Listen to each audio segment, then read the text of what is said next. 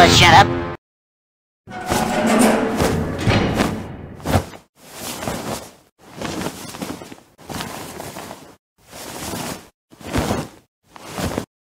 Oh, what a good night's sleep to start this beautiful day.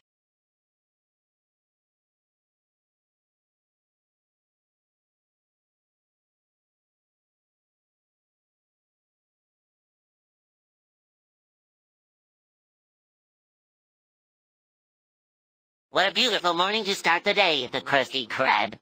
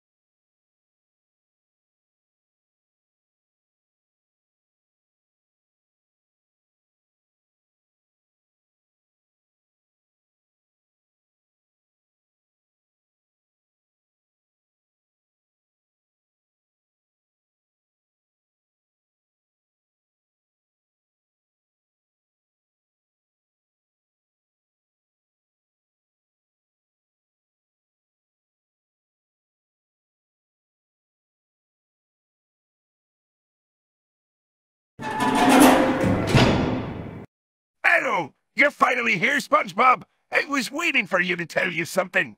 What's going on, Mr. Krab? Squidward should be here, but he's still not here. I called him several times, but he didn't answer. Same for Patrick. I want you to go and check if Patrick is home and come back to tell me about him.